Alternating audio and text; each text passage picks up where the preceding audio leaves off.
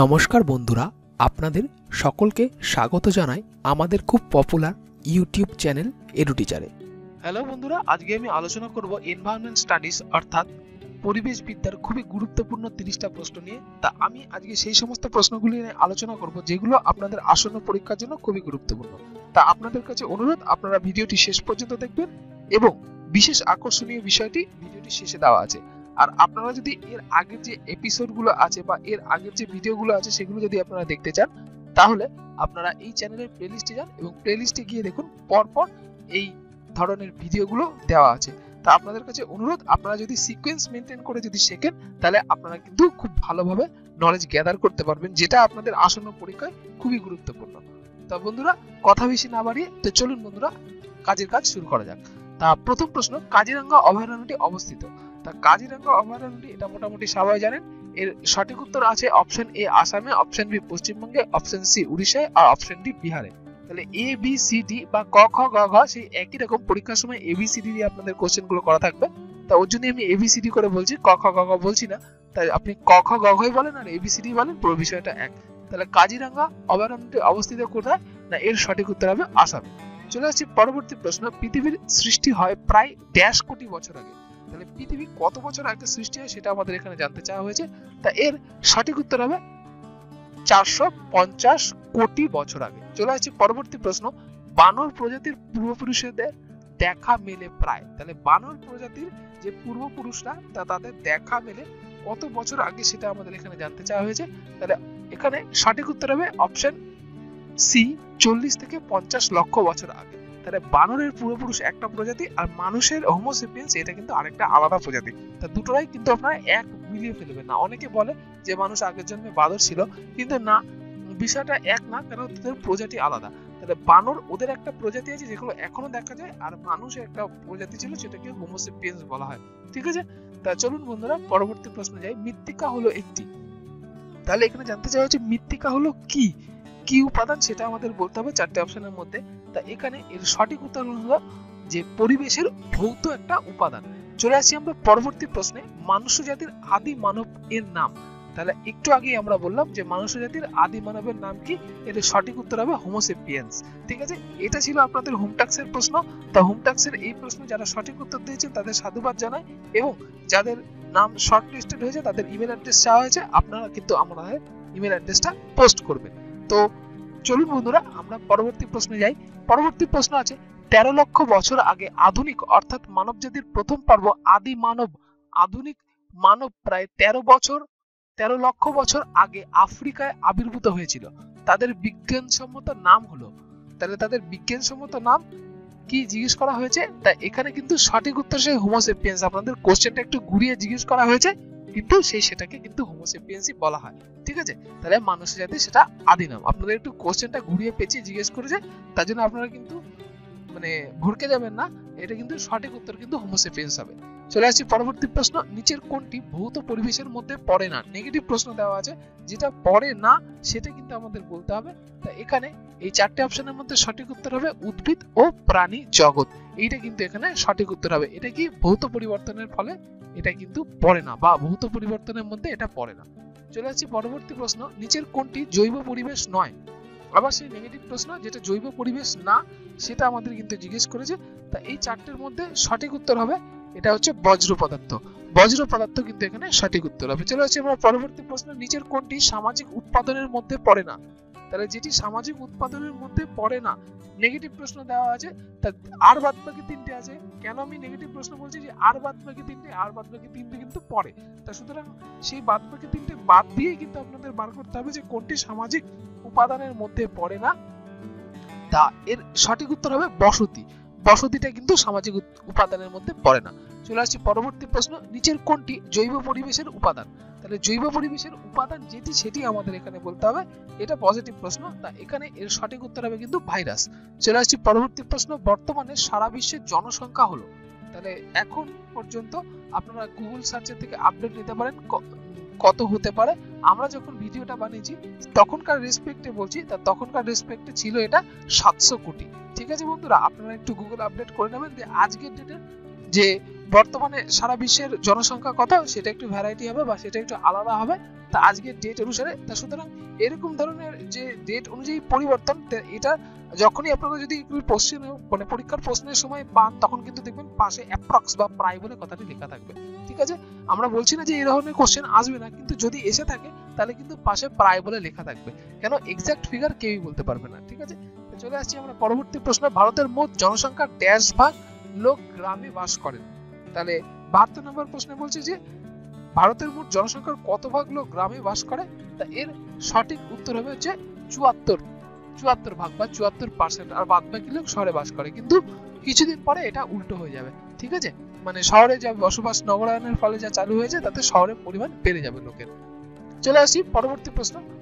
মানুষ চাষবাস করা শিখেছিল প্রায়। তাহলে মানুষ চাষবাস করা শিখেছিল প্রায় কত বছর আগে সেটা আমাদের এখানে জানতে চাওয়া হয়েছে। তা এখানে এর সঠিক উত্তর হবে কুড়ি লক্ষ বছর আগে। চলে আসছি আমরা পরবর্তী প্রশ্ন। শিল্প, কারখানা, বিভিন্ন যন্ত্রপাতি যেমন এয়ার কন্ডিশনার ফ্রিজ ইত্যাদি থেকে যে দূষিত গ্যাস বাইর হয়ে ঊর্ধ্বাকাশে গিয়ে ওজন স্তরে বড় বড় গহ্বর সৃষ্টি করেছে সেই গ্যাসটির নাম কি?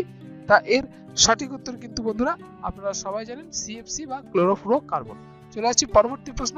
পৃথিবীর গড় উষ্ণতা বৃদ্ধির কারণ বায়ুমণ্ডলে। তাহলে কেন পৃথিবীর গড় উষ্ণতা বৃদ্ধি পেয়েছে? বায়ুমণ্ডলে কিসের পরিমাণ বৃদ্ধির জন্য গড় উষ্ণতা বৃদ্ধি পেয়েছে? তা এর সঠিক উত্তর হবে কিন্তু বন্ধুরা সিও টু এর মাত্রা বৃদ্ধি মানে কার্বন ডাইঅক্সাইডের মাত্রা বৃদ্ধির জন্য। চলে আসছি পরবর্তী প্রশ্ন। প্রতি তিনটি শিশুর মধ্যে দুটি স্বল্প ওজনের কোন দেশে? তাহলে কোন দেশে এই রকম ঘটনা ঘটে? তা সেটা আমাদের বার করতে হবে। তা সেটা ঘটনাটা ঘটে কি? না, দক্ষিণ আফ্রিকায় তাহলে তার তিনটে শিশু যদি জন্মায়, তাহলে দুটি শিশু তার স্বল্প ওজন মানে ওজন কম হয়। ঠিক আছে?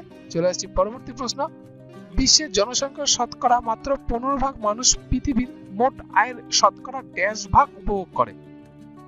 খুব ভালো আর খুব ইম্পর্টেন্ট প্রশ্ন দিয়েছে। তা কি বলছে? বিশ্বের জনসংখ্যার শতকরা মাত্র পনেরো ভাগ মানুষ পৃথিবীর মোট আয়ের শতকরা ড্যাশ ভাগ উপভোগ করে। তা এর সঠিক উত্তর হবে উনআশি ভাগ। উনআশি ভাগ তারাই কিন্তু ভোগ করে। ঠিক আছে? চলে আসছি পরবর্তী প্রশ্ন। মানে এইটি টোয়েন্টি প্রিন্সিপাল আপনারা জানেন। তা এটা সম্বন্ধে আমরা পরে আরেকটা ভিডিও বানিয়ে আলোচনা করব। তা আমরা এখন চলে আসি পরবর্তী প্রশ্ন। প্রত্নতান্ত্রিক নিদর্শন অনুসারে প্রথম আদিম মানুষের আবির্ভাব ঘটেছিল আফ্রিকায়। তাহলে কত বছর আগে? তাহলে কত বছর আগে আফ্রিকায় মানুষের মানে মানুষের আবির্ভাব ঘটেছিল? সেটা এখানে জানতে চাওয়া হয়েছে। এর সঠিক উত্তর হবে তিরিশ লক্ষ বছর আগে। চলে আসছি পরবর্তী প্রশ্ন। কোটি কোটি বছর ধরে বিভিন্ন প্রাকৃতিক শক্তি পৃথিবীর পরিবেশে যা পরিবর্তন করতে পেরেছে বিগত একশো বছরে মানুষ তার বেশি পরিবর্তন ঘটিয়েছে। এর ফলে পৃথিবীতে ঘটেছে। এর ফলে পৃথিবীতে কি ঘটেছে সেটা আমাদের এখানে জানতে চাওয়া হয়েছে। তা এর সঠিক উত্তর হবে পরিবেশের বিপজ্জনক ভারসাম্যহীনতার সমস্যা। তা যেগুলো যে সময় আসা উচিত, তা সেগুলো তার আগে যদি চলে আসে, তাহলে পরিবেশের যে ভারসাম্য থাকে, তা সেটা কিন্তু বিলুপ্ত হয়। ঠিক আছে? তা সেই কোশ্চেনটি এখানে কিন্তু বলা আছে। বিষয়টার সাথে আপনারা নিশ্চয়ই সবাই পরিচিত যে বিজ্ঞানের এত অগ্রগতি আপনারা বুঝতেই পারছেন যে আপনাদের হাতে হাতে এখন টেকনোলজি চলে এসেছে বা টেকনোলজি চলে আসাতে কি আপনাদের নলেজ বৃদ্ধি পেয়েছে। কিন্তু বাদবাকি পরিবেশ কিন্তু সেই অনুযায়ী পরিবর্তন হয়নি। তাই না? তা এখানে একটা জিনিস আপনারা বলতে চেয়েছি যে আপনারা এই কথাটা সবসময় মাথায় রাখবেন যে science is a good servant but not a good teacher ঠিক আছে? তা বিজ্ঞান হলো কি? বিজ্ঞান হলো একটা মানে খুব ভালো বৃত্ত। বৃত্ত মানে দাস। ঠিক আছে? সে কখনোই একটা ভালো শিক্ষক না তাই সেই জায়গাটাই বলছি যে আমরা কিন্তু করে ফেলেছি যে আগুন আবিষ্কার থেকে আমরা আজ পর্যন্ত দেখুন, এখানে যে কথাটা বলা আছে যে একশো বছর ধরে মানুষের যে পরিবর্তন করেছে তা অনেক পরিবর্তন হয়ে গেছে, যার ফলে কি হয়েছে? পরিবেশের ভারসাম্যহীনতা নষ্ট হয়ে গেছে। আমরা নলেজ অনেক গ্যাদার করে ফেলেছি, কিন্তু চাকরির পজিশনে সেরকম চাকরি নেই, আমাদের ওভার পপুলেশন হয়ে গেছে। ঠিক আছে? তা সুতরাং এই কারণের জন্য আমাদের কিন্তু ভারসাম্য নষ্ট হয়ে গেছে। চলে আসছি পরবর্তী প্রশ্ন। হোমোসেপিয়েন্স আধুনিক মানব প্রজাতির মানুষের বংশ পরম্পরায় পৃথিবীতে অবস্থানের সময়কাল হলো। মানে কত বছর ধরে এরা এক্সিস্ট করছে সেটা আমাদের এখানে জানতে চাওয়া হয়েছে। তা এর সঠিক উত্তর হচ্ছে ষাট হাজার বছর ধরে এরা এক্সিস্ট করছে। চলে আসছি পরবর্তী প্রশ্ন। প্রায় তেরো হাজার বছর আগে পৃথিবীতে মোট জনসংখ্যা ছিল প্রায়। তাহলে তেরো হাজার বছর আগে পৃথিবীতে জনসংখ্যা কত ছিল? না পঞ্চাশ থেকে সত্তর লক্ষ। তার মানে বুঝতে পেরেছেন? যে তেরো হাজার বছর পরে আমাদের এখানে দেশের জনসংখ্যার কি অবস্থা হয়েছে? ঠিক আছে? চলে আসছি পরবর্তী প্রশ্ন। সতেরোশো খ্রিস্টাব্দ পর্যন্ত পৃথিবীতে জনসংখ্যা ছিল? তাহলে সতেরোশো খ্রিস্টাব্দ পর্যন্ত পৃথিবীতে জনসংখ্যা ছিল সেটা কত আমাদের এখানে জানতে হচ্ছে সেটা হচ্ছে ষাট কোটি। আর সতেরোশোর পরে আর তিনশো বছর ক্রস করেছে? আর তিনশো বছর ক্রস করে ওই ষাটটা কত গুণ বেড়েছে? না, ষাটটা হচ্ছে প্রায় তিন গুণ বেড়ে গেছে। তাই না? তা সুতরাং তিনশো বছরে তিন গুণ মানে প্রতি বছরে একশো কোটি খুব বেশি বেড়ে গেছে। তা বুঝতেই পারছেন যে মানে পার্সেন্টেজটা কীরকম ভাবে পরিবর্তন হয়েছে, তা এখন বর্তমানে পৃথিবীর লোক সংখ্যা প্রায় আপনারা নিশ্চয়ই বুঝতে পারছেন যে ওখানে ষাট কোটি দেখাচ্ছে আর এখন মোটামুটি সাড়ে সাতশো কোটির কাছাকাছি। তাহলে পরিমাণটা আপনারা চিন্তা করেন যে তিনশো বছরে কি পরিবর্তন হয়েছে ষাট সাতশো হয়ে গেছে। ঠিক আছে? তা এটা আপনাদের উপর ক্যালকুলেশন দেওয়া থাকল সতেরোশো থেকে দু হাজার তিনশো বছরের ডিফারেন্সে ছশো থেকে প্রায় মানে ষাট থেকে ছশো কোটি বা সাত, ষাট থেকে ছশো কোটি হয়ে গেছে। তাই না? ঠিক আছে, চলুন পরবর্তী প্রশ্নে যাচ্ছি। কোন দেশের সামুদ্রিক সম্পদের বিস্তার সে দেশের সামুদ্রিক তীর থেকে দেড় কিলোমিটার গভীর সমুদ্র পর্যন্ত? তাহলে কত কিলোমিটার গভীর পর্যন্ত তাদের অস্তিত্ব লক্ষ্য করা যায়? না, এর সঠিক উত্তর হচ্ছে তিনশো কুড়ি কিলোমিটার গভীর পর্যন্ত। ঠিক আছে? চলে আসছি পরবর্তী প্রশ্ন। ভারত, পাকিস্তান, ব্রাজিল, মেক্সিকো ইত্যাদি উন্নয়নশীল দেশের মাথা পিছু ক্যালোরি গ্রহণের মাত্রা এক সালে যে সালে ও মানে উনিশশো বাষট্টি সালে ও উনিশশো পঁচানব্বই সালে ছিল যথাক্রমে কত কত সেটা আমাদের এখানে জিজ্ঞেস করেছে। তা এটা ছিল হচ্ছে দু হাজার আর পরেরটা ছিল পঁচিশশো। চলে আসছি পরবর্তী প্রশ্ন, জলের সুস্থায়ী ব্যবস্থা ও সুস্থায়ী ব্যবহার ও সংরক্ষণ ব্যবস্থাকে এক কথায় বলা হয়। তাহলে এটাকে এক কথায় কি বলা হয়? জলের ক্ষেত্রে এটাকে বলা হয় নীল বিপ্লব কৃষি ক্ষেত্রে সবুজ বিপ্লব, ঠিক আছে? তা নিশ্চয়ই আপনারা জানেন তেলের ক্ষেত্রে হলুদ বিপ্লব, লাল, চিংড়ির ক্ষেত্রে, তা এগুলো আপনারা মোটামুটি জানেন। চলে আসছি আমরা পরবর্তী প্রশ্ন। প্রয়োগ প্রণালীর নোংরা জলে খুব বেশি পরিমাণে থাকে। তাহলে প্রয়োগ প্রণালীর নোংরা জলে খুব বেশি পরিমাণে কি থাকে সেটা আমাদের এখানে জানতে চাওয়া হয়েছে। তা আমরা এখানে দেখে নেব সঠিক উত্তর কেবে নাইট্রেট ও ফসফেট। চলে আসছি পরবর্তী প্রশ্ন। আবর্জনা স্তূপ শহরের ভ্যাট বা গার্বেজ থেকে যে ক্ষতিকর গ্যাস বের হয় তা হলো। তাহলে সেই ক্ষতিকর গ্যাসটা কি সেটা আমাদের এখানে জানতে চাওয়া হয়েছে। তাই সেটা সঠিক উত্তর হলো মিথেন ও হাইড্রোজেন সালফাইড। চলে আসছি পরবর্তী প্রশ্ন। মাতৃ জঠরে কোন পদার্থের বিষক্রিয়ার ফলে ভ্রূণের সৃষ্টি, শ্রবণেন্দ্রিয় এবং অন্যান্য ইন্দ্রিয়াদির অনেক ক্ষতি হয়।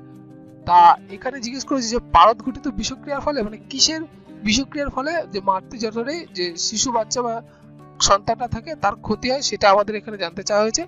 তা আপনারা চুজ করুন। এই চারটি অপশনের মধ্যে প্রথমটা দেওয়া আছে পারদ ঘটিত বিক্রিয়ার ফলে। সেকেন্ড অপশন আছে অ্যামোনিয়া ঘটিত বিক্রিয়ার ফলে। থার্ড অপশন দেওয়া আছে সালফার ঘটিত বিক্রিয়ার ফলে আর ফোর্থ আছে সোডিয়াম ঘটিত বিক্রিয়ার ফলে। তো সঠিক উত্তরটা আমরা এখানে দেখে নেব বন্ধুরা। তা এর সঠিক উত্তরটা হবে পারদ ঘটিত বিক্রিয়ার ফলে। চলে আসছি আমরা পরবর্তী প্রশ্ন। যানবাহন নির্গত দূষণকারী প্রধান পদার্থ হলো। তাহলে প্রধান পদার্থটা কোনটা? সেটা যানবাহন থেকে নির্গত হয়। তা সেটা আমাদের এখানে জানতে চাওয়া হয়েছে। তা এটা সঠিক উত্তর হবে কার্বন ডাইঅক্সাইড ও কার্বন মনোঅক্সাইড তা এখানে কার্বন ডাইঅক্সাইড আছে, তাই আমরা কার্বন ডাইঅক্সাইড অ্যান্সার করলাম। তো চলে আসলাম পরবর্তী আজকে শেষ প্রশ্ন।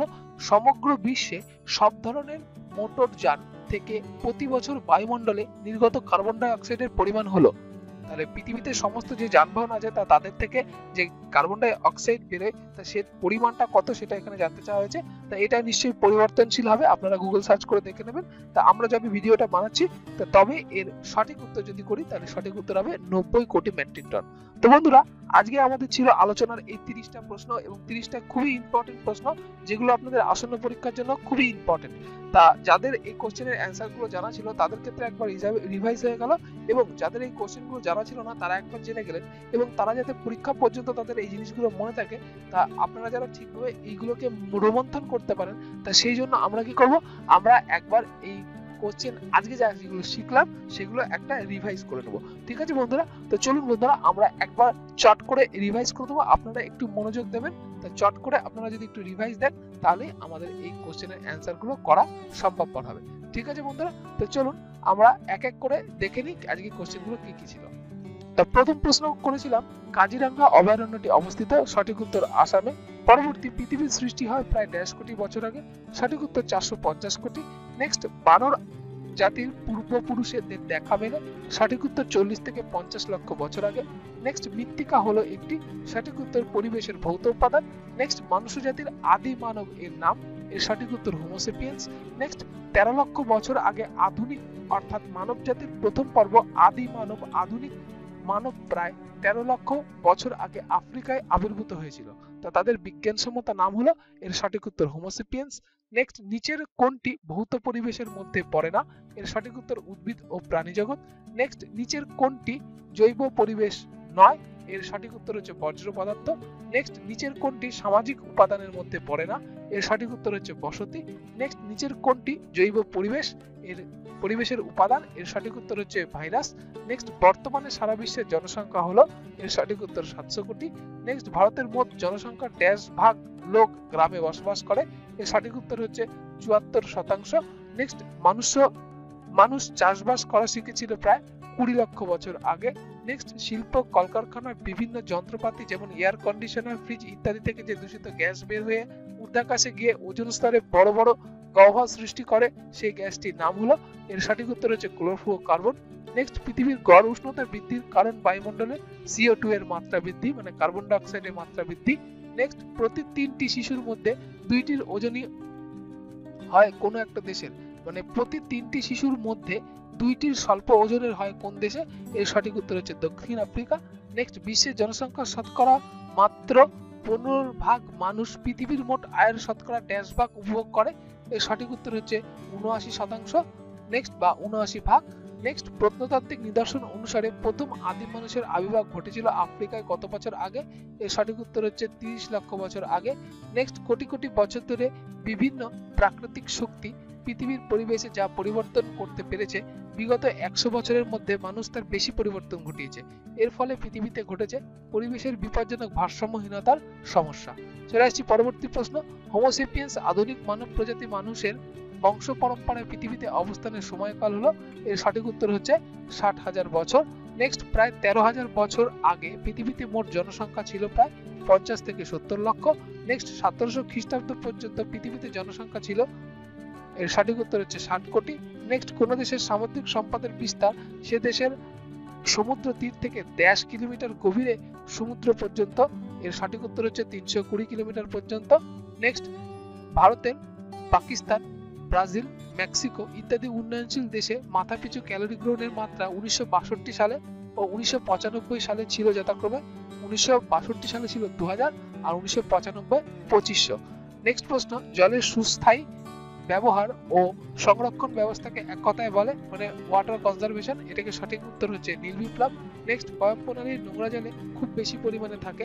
এর সঠিক উত্তর হচ্ছে নাইট্রেট ও ফসফেট নেক্সট আবর্জনা স্তূপ, শহরের ভ্যাট বা গার্বেজ থেকে যে ক্ষতিকর গ্যাস বের হয় তা হলো, এর সঠিক উত্তর হচ্ছে মিথেন ও হাইড্রোজেন সালফাইড নেক্সট মাতৃজঠরে কোন পদার্থের বিষক্রিয়ার ফলে ভ্রূণের সৃষ্টি সমন্দেন্দ্রিয় এবং অন্যান্য ইন্দ্রিয়াদির অনেক ক্ষতি হয়?